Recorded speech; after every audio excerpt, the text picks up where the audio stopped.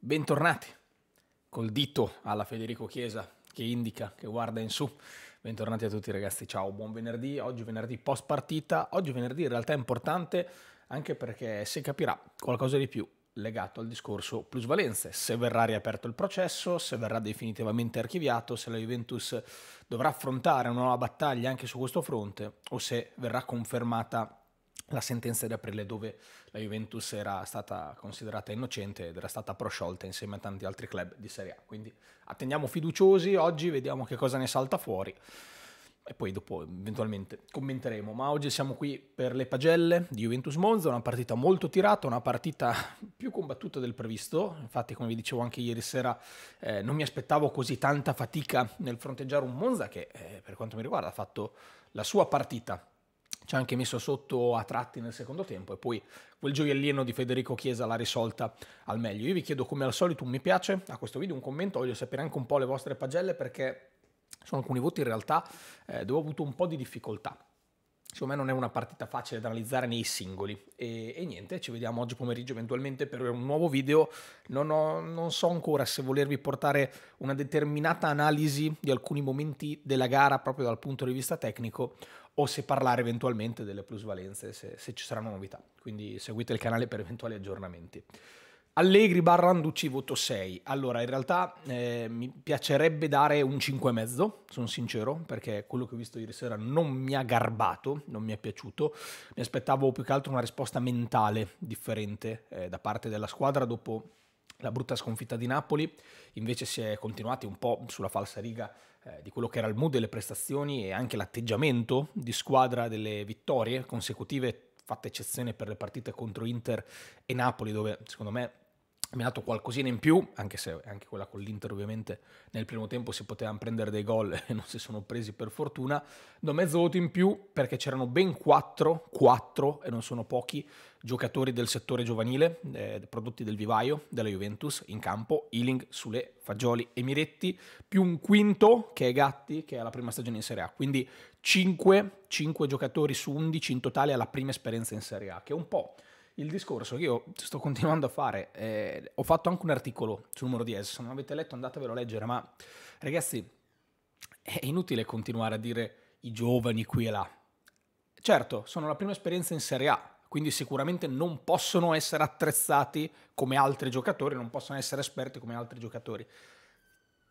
Eh, ma se sono forti giocano. E questi sono forti. Cioè, averli in campo e non averli in campo la Juventus ti fa la stessa partita o quasi.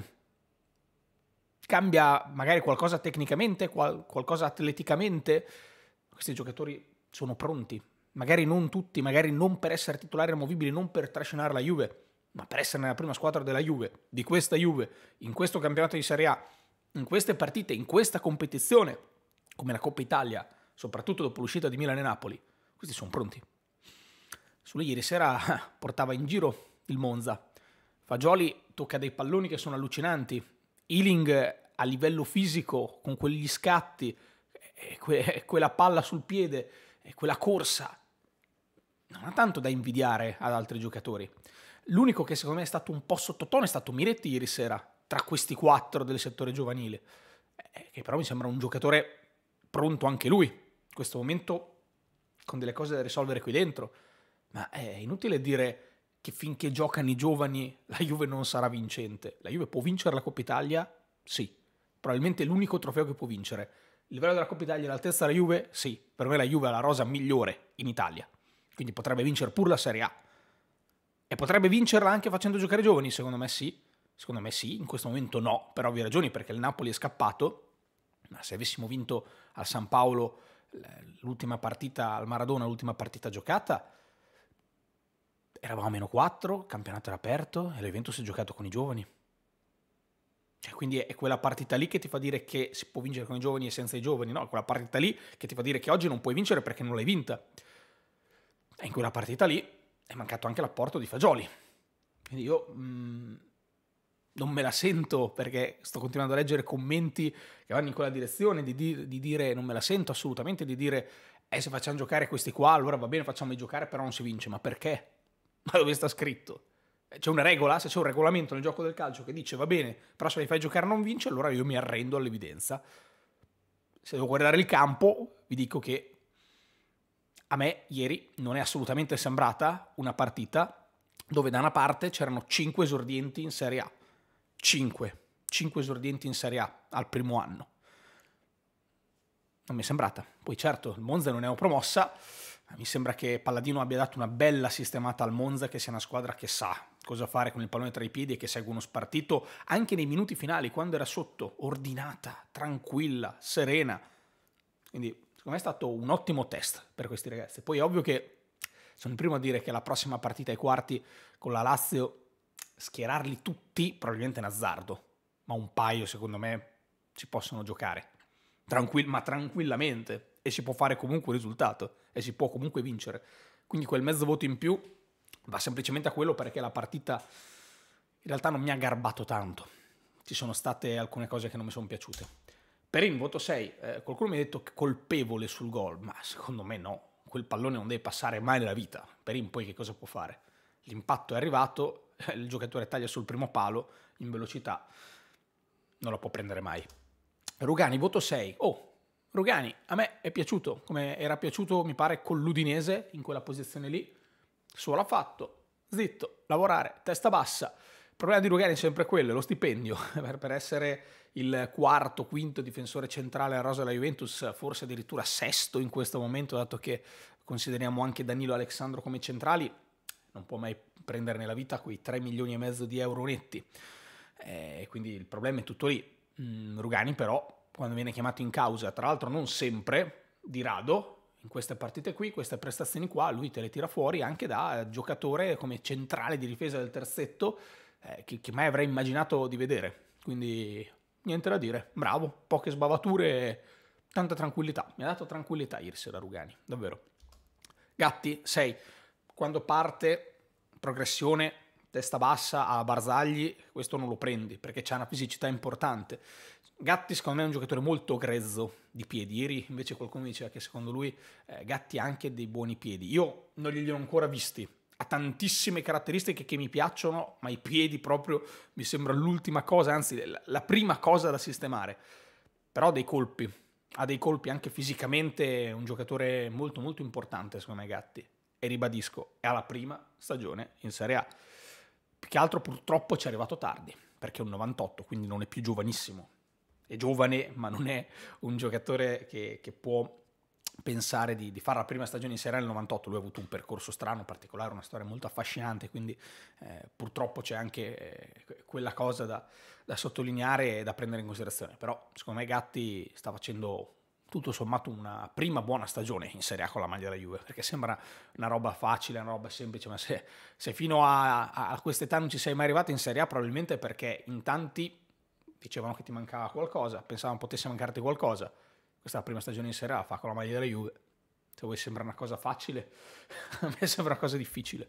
Sei mezzo Danilo che dei tre è stato indubbiamente il migliore, lì dietro un paio di anticipi fatti bene, poi si sganciava per andare ad accompagnare l'azione, che sono cose molto belle che vedo fare a Danilo in questa stagione. Eh, lui e Bremer le fanno particolarmente bene, quindi eh, questi due difensori che in un terzetto difensivo possano trasformare l'azione da difensiva ad offensiva, più quel pallone meraviglioso dato a Moise che anche purtroppo non si è concretizzato, non si è trasformato in gol. Ma Danilo c'è sempre, anima Juventus. Sei mezzo McKenny, perché secondo me McKenny ha fatto una buona partita. Cioè il voto era anche 7. Ha saltato spesso l'uomo, spesso volentieri, poi probabilmente doveva darla via in un paio di occasioni, però mh, tante volte in dribbling, tante volte addirittura in velocità, riusciva a saltare l'uomo, poi quel cross per Kemper, il gol dell'1-0, un'azione magnifica, però mannaggia te Weston, su quel palo non possiamo prendere gol, il gol del Monza su calcio d'angolo, perché sbaglia a saltare, perché stavamo marcando bene o male a zona, tutti, e se quella palla passa e se tu non la pigli di testa, un errore veramente banale, banalissimo per una squadra di Serie A, e dopo tutti gli altri a domino, effetto domino, Paredes non può seguire il, il marcatore, Perin non può marcarla, Gatti e Ken sono lì, la palla è già passata, quindi McKenny indispensabile su quel palo lì, perché comunque un buon colpitore, dopo tutti gli altri pali è stato eh, bene attento in realtà, anche il Monza ha tirato un paio di palle basse, lui ha risposto presente, quell'errore pesa e secondo me fa tirare un po' giù la valutazione che, ripeto, in una partita che secondo me McKenny ha fatto comunque bene, poi eh, quando passiamo 4-2-3-1, rivederlo ancora largo, mi dispiace perché McKenny per me ha delle caratteristiche molto importanti di inserimento senza palla, è micidiale, anche nel colpire, nell'impattare la palla, proprio sull'inserimento, quindi non il tiro dalla distanza, non la tecnica, eh, però delle caratteristiche importanti che, che, tante volte andiamo a sacrificare in favore semplicemente di una fase di copertura da parte di McKenny, quando potrebbe dare probabilmente molto di più. Però questo è, però secondo me McKenny ieri ha fatto una buona partita, 6,5. 5 più a Paredes, perché probabilmente 5 sarebbe stato troppo poco, ma 5,5 troppo troppo. Paredes eh, lui si esalta nella garra. Quando alla fine c'era da andare a discutere con Izzo, pronti via presente. Eccomi qua. Tutto il resto della partita ho sempre l'impressione che uno come lui possa dare dieci volte tanto. Mi sembra di guardare sempre la moviola. Sempre, sempre la moviola.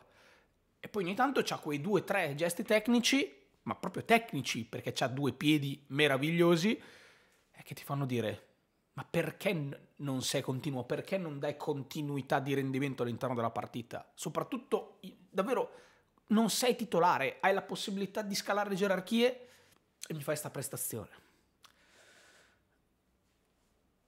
Non riesco neanche a giudicare, non riesco neanche a capire. Sembra semplicemente accontentarsi.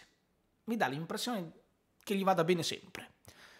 E no, non sei titolare, non sei della Juve, non ti hai riscattato, dai di più. Quello è il 100% che puoi dare dal 200. Perché quello non può essere il 100. Magari hai l'impressione di dare il 100, ma devi dare il 200. Se no non ne usciamo da questa situazione. Perché uno come Paredes può cambiare il volto della Juve da così a così. Eh, però non, non lo sta facendo. E questo deve venire da lui, c'è poco da fare. Miretti 5,5, ripeto, è quello che mi è piaciuto di meno dei, dei ragazzi del, del, settore giovanile della Juventus, però Miretti mi dà sempre l'impressione di essere un giocatore che può farlo. Non perché non voglia, a differenza di Paredes, ma perché in questo momento non ci riesce. Perché è stato bloccato qui a livello mentale. Ma è un 2003, è un 2003 e Miretti sta bruciando le tappe, sta facendo una marea di presenze nella Juve prima squadra. Io credo che Miretti possa essere assolutamente soddisfatto del suo percorso, ma non deve accontentarsi. Deve dire, ok, adesso è ora di iniziare veramente a decidere le partite, con un assist, con una giocata, con un gol. Miretti ieri ha fatto eh, una, una copertura preventiva bellissima, ha fatto un recupero bellissimo, quindi quando non ha la palla in questo momento mi dà l'impressione di saperci fare, quando ha la palla mi sembra un po' bloccato a livello mentale. È qua, è qua lo step che deve migliorare, è qui che deve fare il passo in avanti, perché? Perché giochi nella Juventus. E se giochi nella Juventus devi avere delle ambizioni più alte. È tutto qui. So che sembra una stronzata, sembra una frase fatta, ma questo è. La Juventus è una cosa diversa. Fagioli, sei e mezzo. Man- si è mangiato quel gol all'inizio, perché se l'è mangiato, anche se al volo non era così semplice. Ecco, però Fagioli mi dà proprio l'impressione, co- con la palla tra i piedi, di poter fare quello che vuole. Cioè, se ci fosse la possibilità di scommettere 100 euro che quella palla me la mette lì, io 100 euro su Fagioli li metto, perché quella palla me la mette lì. Gestione sempre intelligente, sempre, visione di gioco altissima, non è un giocatore davanti alla difesa, è un giocatore che può giocare sulla mezzala e addirittura sulla tre quarti, per movenze, esagero? Eh, ma è l'unico giocatore che mi viene in mente, per movenze e non per livello, per movenze, per come tocca la palla e per come interpreta la partita. E Modric? Mi sembra di vedere un Modric in miniatura e anche al volo quelle aperture che aveva fatto anche a cambiare gioco ti viene proprio da dire sto piedino qua sto piedino qua poi magari gli manca il tapin semplice da fuori area con quel tiro al volo, ma è sempre stata una cosa diversa fare gol e girare il pallone. Da sempre il gioco del calcio sono due cose differenti. Può migliorare anche lì, può migliorare anche lì ed è una gran fortuna e soprattutto è una gran fortuna che la Juventus questo ragazzo l'abbia già rinnovato e l'abbia trattenuto all'interno della rosa perché in questo momento mi sembra un giocatore che non può uscire, non può uscire dal centrocampo titolare della Juve. Non può farlo perché ha caratteristiche uniche di gestione, di visione, di palleggio, di apertura. Caratteristiche uniche. Con Locatelli era più. È inutile girare intorno al centrocampo, il centrocampo è quello lì. Fine. E addirittura in questo momento vi dico allora va bene, con McKenny esterno. Se non c'è nessun altro, se Quadrado non c'è, se non andiamo sul mercato, se va bene non facciamo giocare, va bene, però allora Fagioli non può uscire. Facciamo questo compromesso? Compromesso che non mi piace? Facciamolo, ma Fagioli non esce, Fagioli deve giocare. Ealing 6,5. Questo ragazzo ha delle qualità, anche lui classe 2003, no? Perché ogni tanto sembra che... Io non credo possa fare il terzino, perché non è nemmeno un esterno a 3-5-2, non lo è. È un giocatore più offensivo, è un giocatore che attacca la porta, è un giocatore che vuole, che sente andare sul fondo, un giocatore che, che vuole risolverla con la giocata finale, ok? Anche quando si accentra e tira, è perché lui comunque la vuole risolvere, è un giocatore che, che vuole andare in avanti. Quindi anche nel 3-5-2 probabilmente un po' sprecato, però secondo me si è adattato molto bene, la sua partita la fa molto bene, in quella posizione lì. E soprattutto c'è una falcata che, che in pochi hanno. E quindi il vice Kostic perfetto è Ealing, perché hanno caratteristiche differenti. Perché Kostic è un giocatore diverso da Ealing, non ha la sua velocità, è molto più tecnico. Però immaginatevi il terzino destro che per tutta la partita marca Kostic e a un certo punto entra Ealing e se magari gli ha marcato il cross fino adesso, stavolta deve pensare che questo va sul fondo o taglia dentro diventa un'opzione molto molto interessante. Quindi, mh, ripeto, terzini sia Eiling che Kostic io non ce li vedo, proprio no. Secondo me l'unico terzino sinistro della Juventus nella rosa è Alexandro ed eventualmente adattabile Danilo. Però Eiling è, è un'opzione molto molto molto forte. Sule, questo ragazzo, e lo sapete, ci sono i video dell'anno scorso, non mi aveva mai detto chissà che cosa nelle altre apparizioni. Io sono fatto così, non è che se gioca un giovane allora io lo devo esaltare perché ha giocato il giovane. Se mi piace ve lo dico, se non mi piace ve lo dico. Semplicissimo. E l'anno scorso non mi aveva mai dato la sensazione, in quelle poche volte che l'avevamo visto, di avere qualcosa di speciale. Quest'anno, invece, che lo stiamo vedendo un po' di più, un pelo di più, mi sta dando delle grosse vibes. Grosse vibes e ancora non l'abbiamo visto probabilmente nel suo ruolo naturale che è quello di esterno a destra in attacco a tre, che è un po' eh, la posizione che preferisce anche Di Maria. Questo ragazzo ha delle qualità, delle potenzialità, quando poi va a scambiare con Fagioli sulla tre quarti a destra, come in occasione del gol, il gol lo confezionano queste due, eh? poi bellissimo cross di, di, di, di McKenny, bellissimo colpo di testa di Ken, bellissimi tutti e due, ma perché ci si arriva in quella posizione? Perché Sule da quella palla e quella palla gliela dà perché c'è quello scambio con Fagioli. Io non vorrei mai, ma proprio mai, che si iniziasse a dare per scontato che questi calciatori qui, come Sule, come Di Maria, come Di Bala, sono giocatori come gli altri. Perché questo tipo di giocatore non sarà mai come gli altri, sarà sempre un giocatore diverso. Perché è il classico numero 10 della squadra. Un ruolo che in questo momento probabilmente sta cadendo sempre più in disuso, perché eh, semplicemente se oggi hai un giocatore che comunque tra le linee gioca bene, lo metti esterno destra, come dicevo prima, probabilmente anche sulle rende meglio in quella posizione, ma questo ha veramente la capacità di fare impazzire gli avversari tra le linee, perché non sai mai se deve uscire il centrale o se deve uscire il centrocampista e se aggiungi che può creare superiorità numerica non solo con la confusione, ma anche con la tecnica e con la giocata, beh, la Juventus si sta coccolando e crescendo in casa un giocatore molto interessante, molto interessante, che secondo me è ancora poco incisivo, ma che sta diventando sempre più consapevole dei suoi mezzi, anche quello scambio che va a fare con Ken e quel tiro in porta, quelle personalità, cazzo tiro in porta, bravo. Non scegliere sempre la giocata facile ogni tanto pensa anche quella più difficile, anzi prova quella più difficile, perché pensare la pensa. Sono sicuro che, che lui possa pensare a giocata più difficile, ma solo in pochi possono farla. E se la prova significa che ha fiducia nelle sue capacità e che vuole emergere. Bravo Matti, bravo bravo. Sei a mezzo a Ken. Un gol l'ha fatto, quello dell'1-0. Un gol gli hanno annullato per fuori gioco. Poi anche lì ho letto che c'erano discussioni, forse non era fuori gioco, era fuori gioco. Fa lo stesso, è andata bene, perfetto così.